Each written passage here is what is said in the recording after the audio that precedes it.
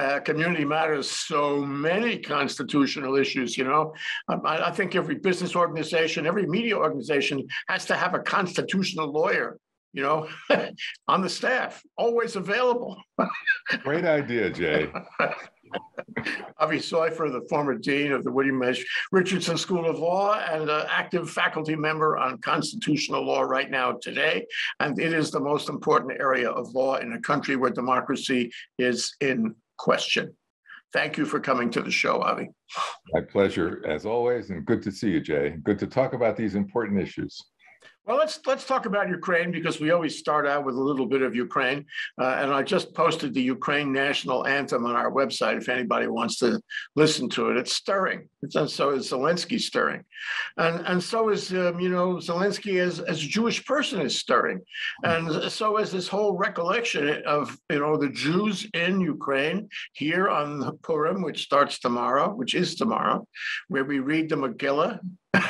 whole Megillah the whole Megillah, which takes quite some time, um, but it's very interesting because it goes back to the days of old Iran, uh, our friends in Iran, Persia, and um, Mordecai, and Haman, and Achashverosh, and Esther. Esther was my favorite. A great story, a great narrative. It ends okay, although it was an attempt at genocide.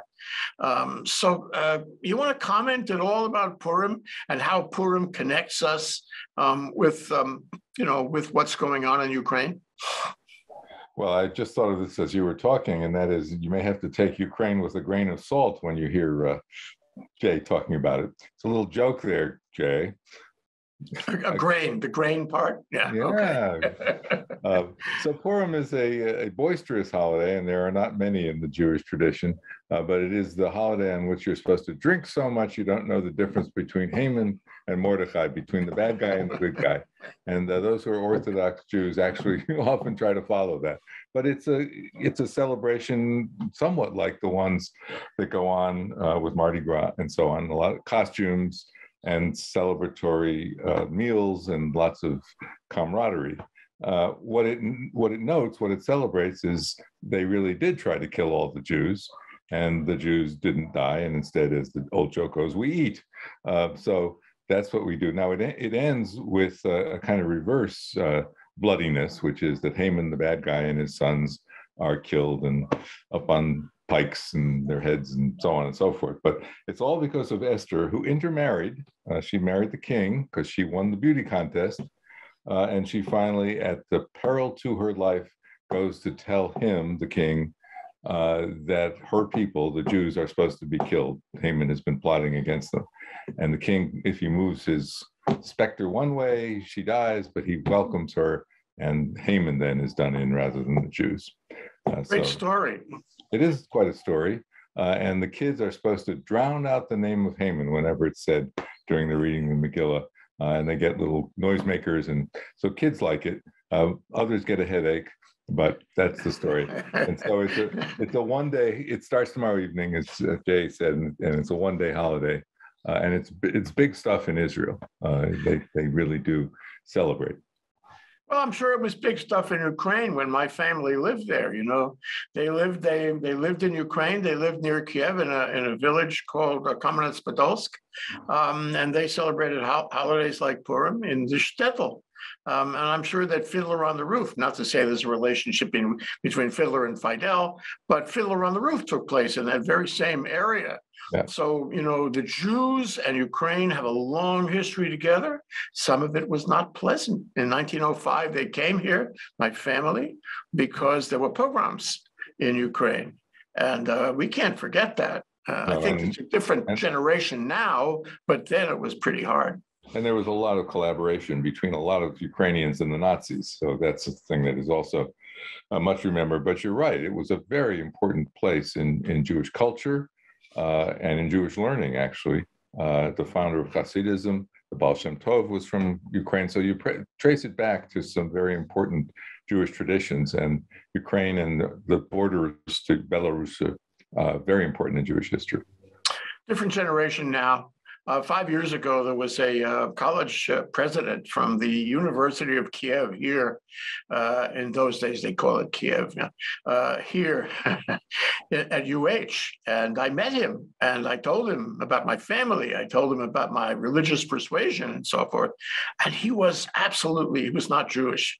Uh, he was so interested to meet me, so sweet, so nice, and I began to get the feeling that there is another generation yeah. uh, in Ukraine, a, generation that could elect a Jewish president and so forth. You know, and he different. he has been amazing. He just has a wonderful sense of who he's talking to, and he adjusts what he's saying. But what he's saying is actually the same thing, which is very courageous. Uh, and I don't foresee a happy ending really, but uh, it's been great that he has been the leader, and uh, and he didn't take off. He didn't need that ride. Uh, so he's still there and he's still influencing things uh, for brave people to really be giving up their lives for their country. He understands this is an inflection in human history and world history right now, and he's uh, an important member of the, the inflection. And uh, yes, um, but you're right; it may not end very well. And and um, you know, I'm I, I, find it very interesting that uh, today uh, Vladimir Putin uh, uh issued sanctions against uh, Joe Biden, Joe Biden's son, a number of people in government, not only in government today, but people who have been in government in the past. He just let it fly in all directions. Um, this is this is um, you know interesting kind of Trump Trump-esque kind of move. You double down, you respond. May I use the term gaslight? you respond, and everybody wonders wonders where you got that from. Um, you you you you you meet fire with fire, except there is no fire. so the question I put to you is: Should I be concerned I mean, there's a, there's an application form circulating now where you can apply uh, to be sanctioned by Vladimir Putin. Some people consider it a badge of honor. Um, but if I do that and I become, if I'm lucky enough to to be uh, sanctioned by Vladimir Putin, um, will he be able to enforce any sanctions against me? By the way, just to add, I do not have any assets or land in Russia, nor do I intend to have them. Well, he he knows about you, Jay, even if you don't sign. So uh, he, you have to worry, you have to worry already. Uh, but it's pretty ironic, isn't it, that the way to get at Russia is a way of getting at capitalism. It's a it's getting their assets, it's getting their investments. So here we have socialism vulnerable because it's so intertwined with capitalism. That that's the level of uh, response that we are primarily making. I think in, in the end, uh, you know, this was a ridiculous move, and everybody in every country in the world will see it that way as a ridiculous move. I mean, really yeah, sanctions again. but it may be the last. I mean, as people are saying, he may not think he has to stop with Ukraine. So this is a real concern. He has his uh, he has his reasons. Uh, there was uh, an article in the where was it? Um, oh, Foreign Affairs a couple days ago uh, for the proposition that this is actually capable. That these times, with the right moves uh, of of restoring um, Pax Americana, Mm. Um, and and reminding us that uh, as Ki- uh, Kiss, uh, as uh, Henry Kissinger said years ago, that you have these two competing systems. Um, the East and the West are Russia and the U.S. and China tagging along with Russia, and you know what? That hasn't stopped. That still's going on, uh, and we see it now. So that's why it's an inflection in history. I think. So let's talk about law for a minute, Avi. All right. So um, let's let's talk about uh, let's talk about um, this this bizarre Missouri uh, incipient statute they're about to pass that reaches beyond Missouri and would make, uh, I guess, make it criminal on a vigilante basis of any Missouri resident who went to another state and had an abortion. Um, it it just uh, it it it tests federalism, doesn't it? It tests the, the basic structure of states states' rights. Isn't that a conservative concept of states' rights? What's to, happening here? It seems to rise and fall depending on what the issue is, and and I've uh, spent a fair amount of time teaching and, and some writing about federalism, and it is not not nearly as simple as people like to say. Uh, so I, I, guess one of the things I want to say is uh, if any law students are watching, you know, you, you got to kind of hold your wallet when people say our federalism, as if it gives the answer. Yes, we have federalism, and it's an incredibly uh, mixed matter these days because the federal government, of course, is giving a lot of money to the states. Uh, individuals are supposed to have rights because of federalism, but in fact, uh, in recent days or recent years, the Supreme Court has said, oh, you can't coerce the states, but you can coerce individuals. Uh, a gun to the head in the Shelby County the voting case, which is Chief Justice Roberts' decision, unfortunately.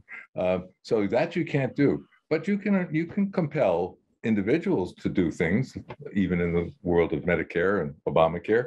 So it's a weird and very complex area.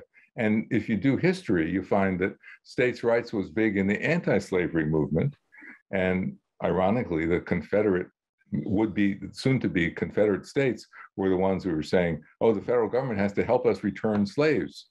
uh, to their uh, status in the South. And it was Northern, um, you could say vigilantes, but I wouldn't consider them that, uh, abolitionist heroes who were freeing slaves, sometimes from courthouses, as a matter of fact. And the feds were very mad about that, and so were the southern states. Then they turn around, and of course, the Civil War is about states' rights and about state sovereignty, and they lost, but that's kind of forgotten. They lost on the field of battle, but they seem not to have lost legally because states' rights keeps coming back. And it comes back in ways that are really astonishing, even with a majority of the states in a case saying we support the Federal Violence Against Women Act. Court says, we don't care what you say, we're doing this on your behalf. So there's a paternalism for states' rights that the court has been insisting upon in a whole range of cases. Pretty weird. Twisted Twisted. Yeah. Um, to, I want to get to Twisted, but first I want to ask you about what happens in the second phase of this Missouri statute, because um, there was a, uh, I guess it was an op-ed piece by a fellow named Cohen, a law professor, and two other law professors, uh, who said, you know, we're we're in a battle, a battleground, a battlefield uh, on abortion.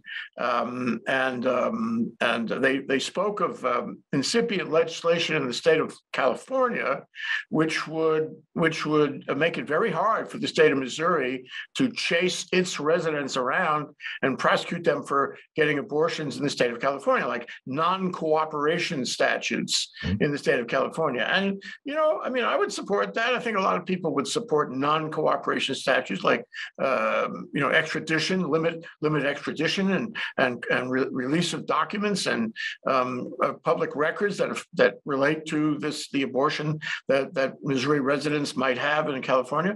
But here's and and Hawaii might do the same thing, Avi, the same thing right here, just like California, and I would support that. But but here we have a state trying to reach across the border, and other states saying no, you can't.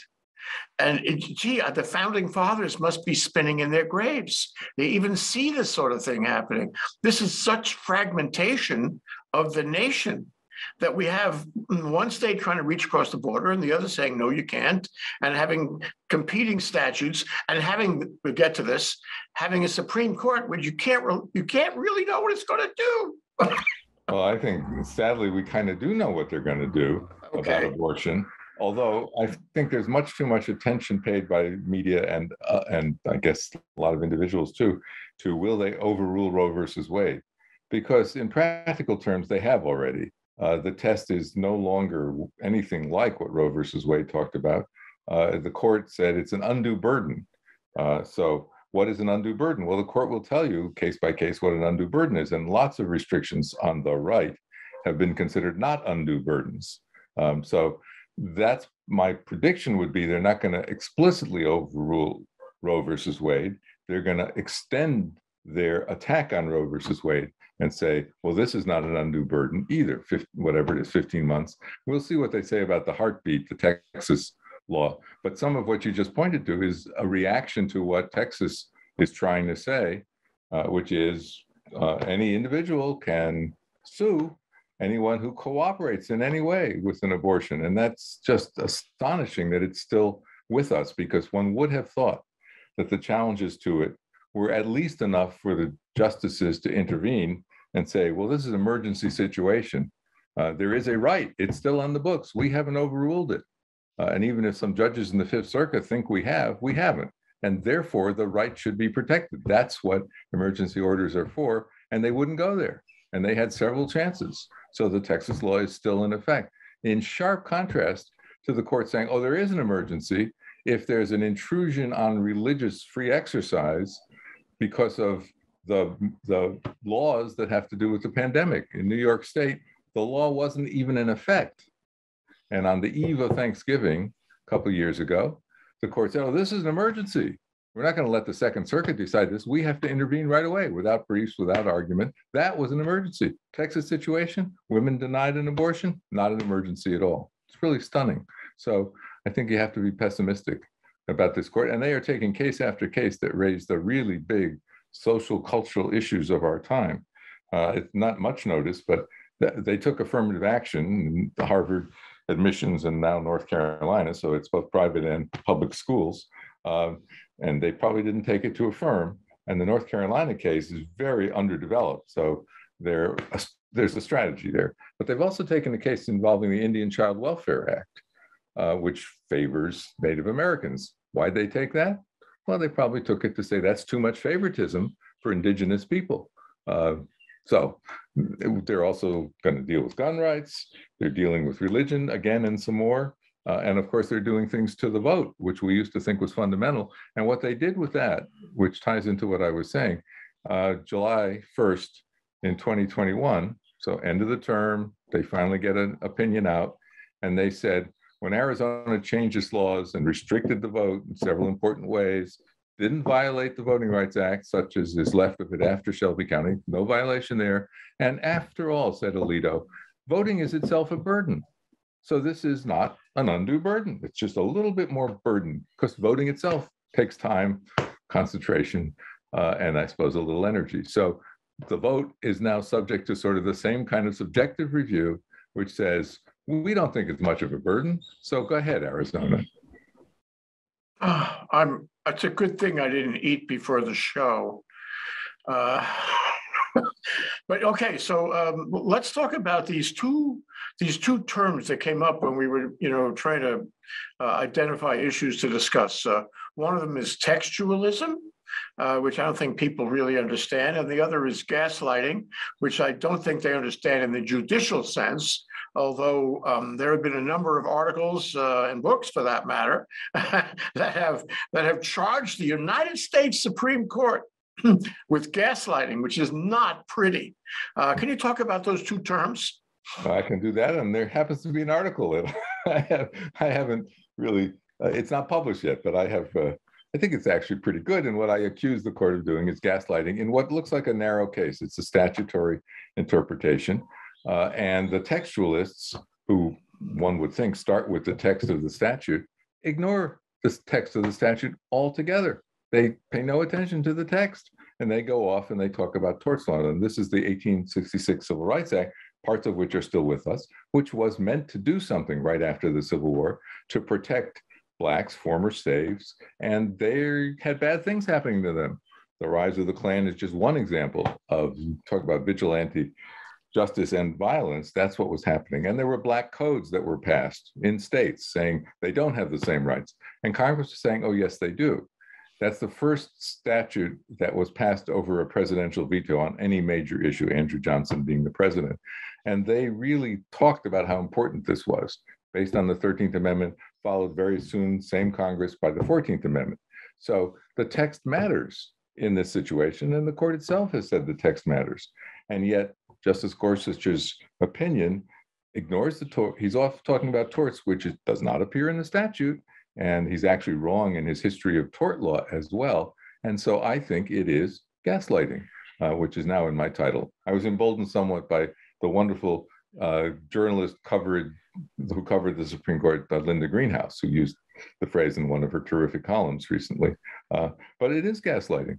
And and getting back to your question, textualism is appealing psychologically, right? You wish you could just look it up. It appeals to that urge. What's the answer? What does it say in the text? But the text is the starting place, but it doesn't answer itself. And I've got some evidence of Supreme Court so called textualists actually misrepresenting what the second or third meaning in the dictionary is. Uh, so they quote it incorrectly, but they say, oh, the dictionary answers this question. Well, it doesn't, because what's the context of that text? And Scalia led the way in saying, we don't care about the intent of the legislature.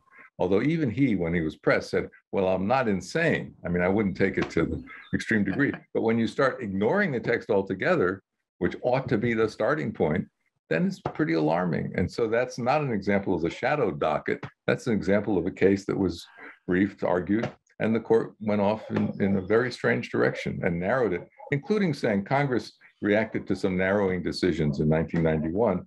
And they said, well, they didn't react to this decision. Well, of course they didn't, because we hadn't decided it yet. I mean, that's logically and rhetorically pretty appalling. When you say, well, they didn't foreclose what we're about to say because they didn't know you would actually say this strange, strange thing.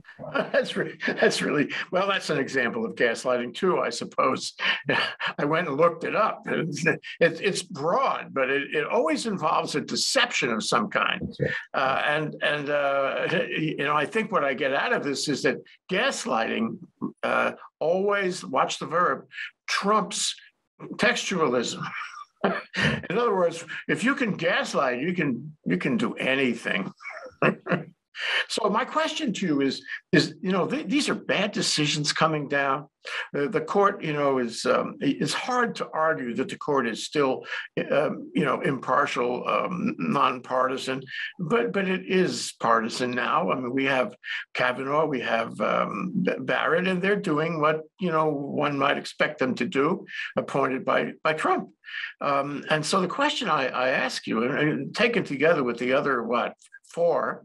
Um, um, you know, are they doing this purposely? Is it a mistake? Is it a faulty legal education? Is it organic? What is it? Have they do this and expect to get away with it and, and have nobody notice that it's backward and it's gaslighting? Well, to some extent, um, you can say constitutional law goes beyond the text all the time. On the other hand, you do start with the text. And sometimes, and we should, I think, be clear about this, sometimes textualism has good results. So you look at the text and you say, well, the text didn't change. I mean, this is what Gorsuch, who, complain, who claims he's a textualist, and I just complained about him. But in a case involving uh, Indian country in Oklahoma, he said there was a treaty, happens to be the same year as the statute that I'm writing about, 1866, and they haven't changed it. Therefore, we're bound by the treaty. Therefore, uh, criminal uh, law on Indian land still covered by the treaty. So sometimes the text comes out in ways that I would applaud. I don't say it ends this, the thing or it should be ignored. I say it should be a starting place. Mm-hmm. Um, but I think the very fact that they're taking the cases that they're taking, and they have almost complete discretion, not completely, but almost complete discretion as to which cases they take, uh, is itself uh, looking partisan. And Justice Sotomayor wrote a powerful dissent in which she talked about the stench of partisanship. Now, that's strong language from someone who's actually easy to get along with and quite collegial. So she starts saying that alarm bells should go off. And yeah. she's talking about partisanship in that context. I think it was about votes, which the Warren Court thought were the most fundamental of all. And they're not the first to say that.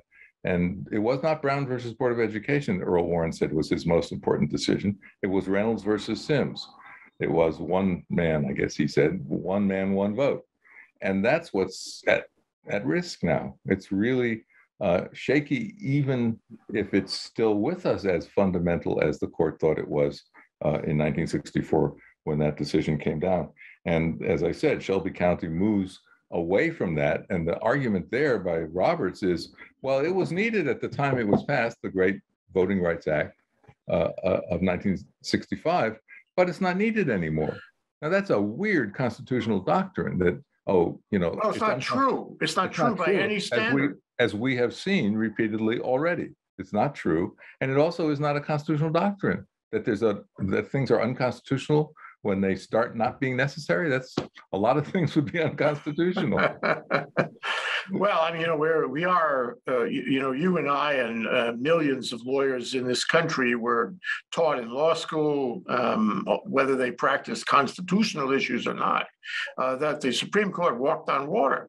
Uh, and they were, you know, in the balance of the balance of power, they were very important to guide the country over the long term and, and find the morality, find the ethics, find the, mm, the, the city on a hill. And um, we, we have lost that because I think most people will recognize that we have a partisan court now. This is pretty serious. Uh, and it, it, go, it goes to the underpinnings of, um, hey, the legal profession, but also the country and having confidence in the ability of the government. There are other parts of the government you can lose confidence in too, uh, but, but this one is really important and really special. and so, go ahead. Sorry. That, well, uh, it brings us to you know the, the last uh, area I want to discuss with you, and that is um, Clarence uh, Thomas. well, so this this goes back to uh, some doubts about the court for a long, long time. I would imagine in terms of what Clarence Thomas has been up to. And I know you want to talk about the recent revelations about his spouse and her activism, uh, including her presence uh, on January 6th, though she says she got cold and didn't go up to the Capitol. I um, believe it. I believe it. I, I absolutely go. believe it. I believe it. Yeah. But but Jay, before we leave people on on a real uh, down kind of uh, mood, um, I think we should recognize, and it's important to say, and we've said this to one another privately as well as on camera, uh, the court did stand up to Trump, right? And he lost 60 sometimes in his attempts uh, to get judges on his side when he was challenging the election. Well, that's kind of significant too. Uh, and so, you know, the court is what we got. Uh, this is, I think, a terrible example as I as we've been talking about it.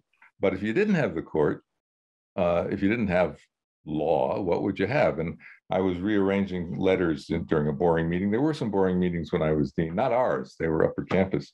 And you take rule of law, you rearrange the letters, and you have awful lore. But law is not, I think, awful lore. And the rule of law is important.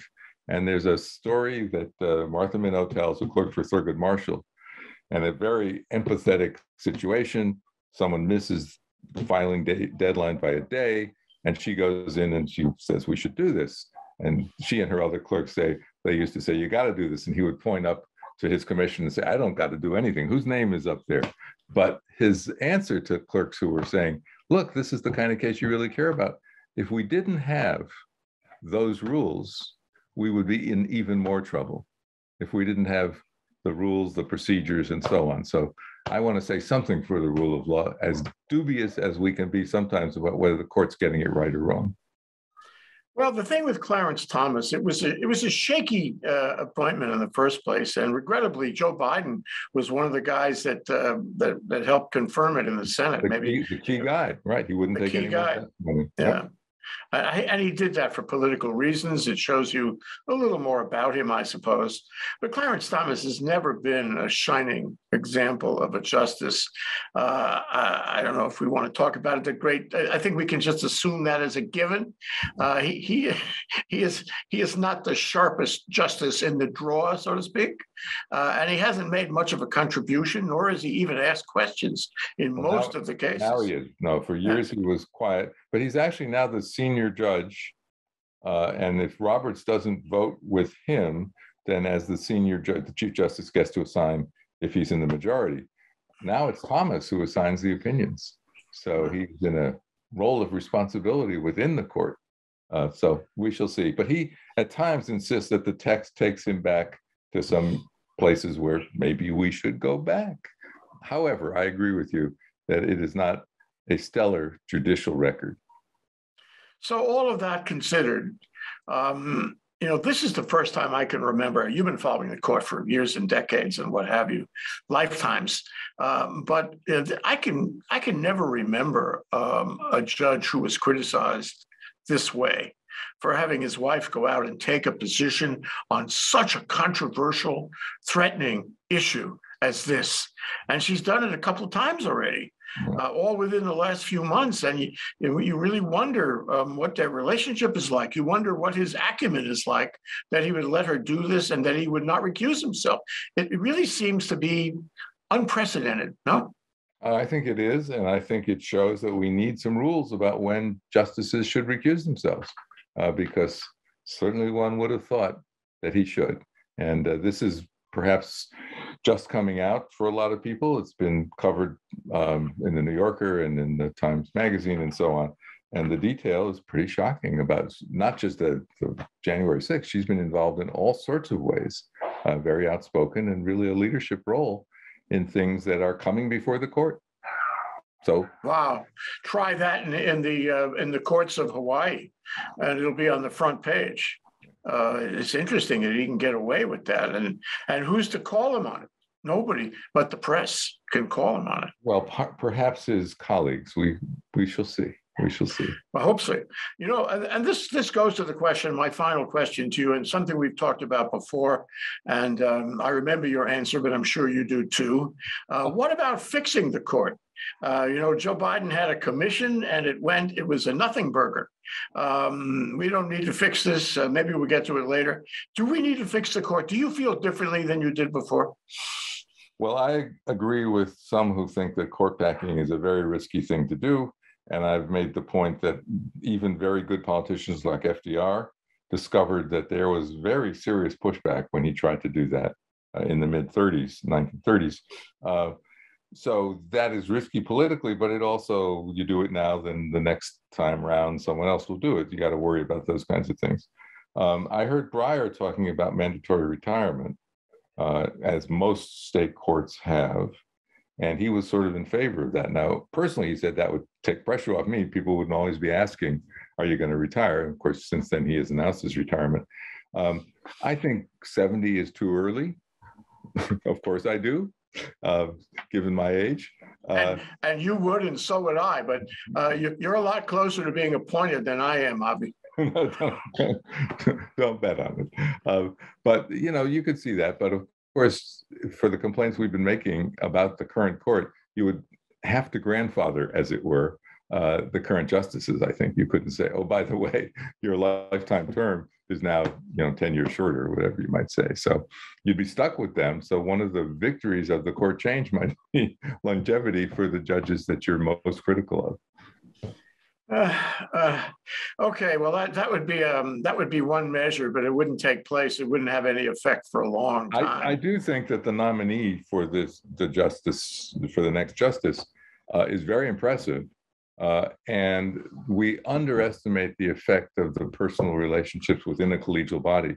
And she, I think, will be a force. And I picture her and Sotomayor reinforcing each other in very different ways. And that will also, I think, change the court more than just one more vote. So stay tuned. I assume she will get confirmed, but you never know. Uh, I- You know, I had a, a show with Camille Nelson, the, the current dean, your successor, uh, who knows her, who served with her on a, a committee or commission at one point. And, um, you know, what, what came to my mind, um, it was, was that, yes, it's, it's a matter of relationships. They, they must have, the nine of them must have relationships and they must have some influence, hopefully some influence on the others. They do meet, even if it's just for a bowl of soup. You know, they, they do have some you know, some effect. And I, I envision, and I, and I, I like uh, Ketanji because I, I, um, what shall I call her, Judge Ketanji. Uh, I, I like her because I think she's very relatable. All you have to do is look at her, look at, look at the way she deals with people, look at the way she articulates her views, look at the, the kindness and the focus and the, you know, the human caring. You can see it all. And so I'm thinking that maybe in the privacy of their mm, bowl of soup or whatever they do, um, she would actually be able to say, now, come on, boys and girls, uh, how about, you know, thinking this through? How about not, um, you know, um, not gaslighting the United States? How, how about some honest and moral, you know, determinations here?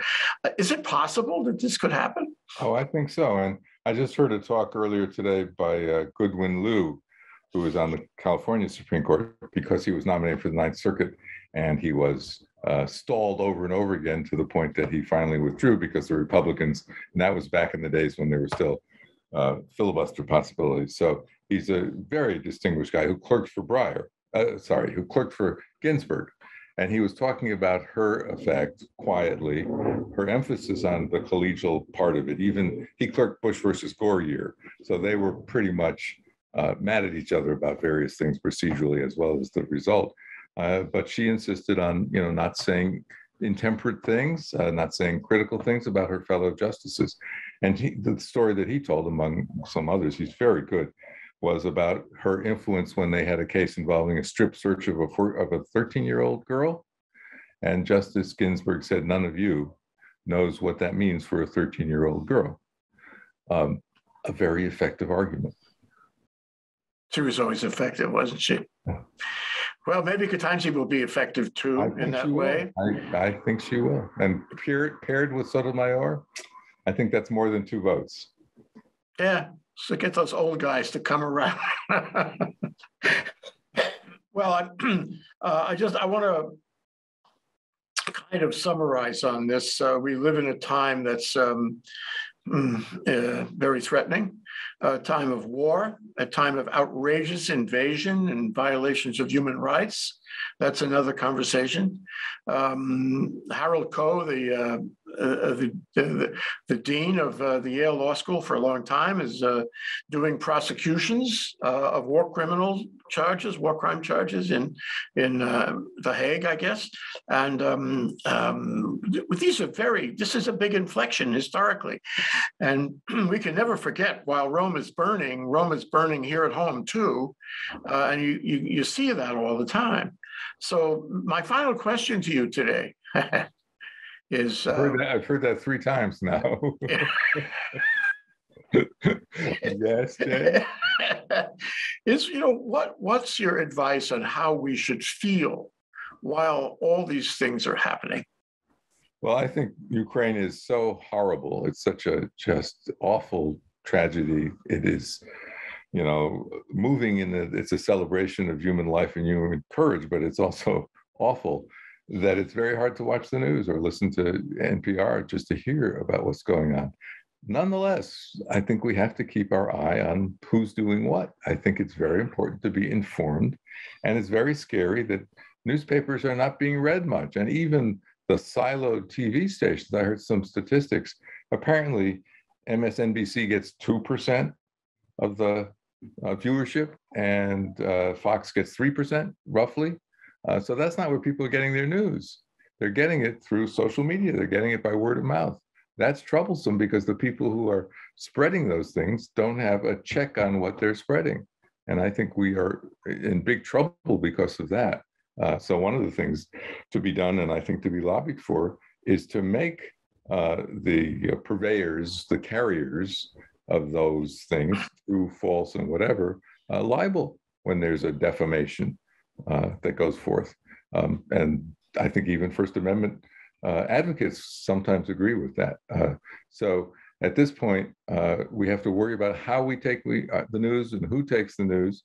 And finally, we have to continue to try to turn out for votes, right? The turnout is appalling. Votes matter.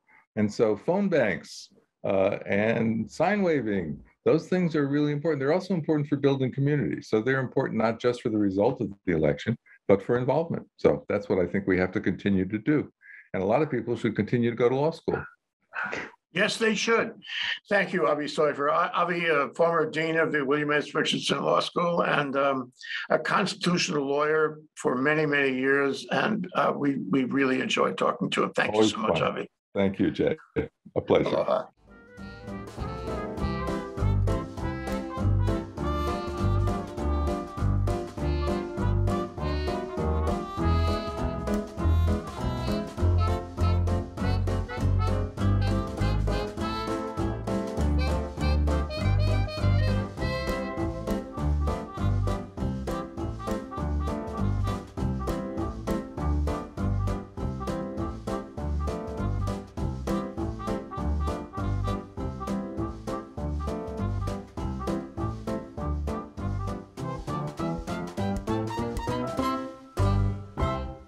Thank you so much for watching Think Tech Hawaii.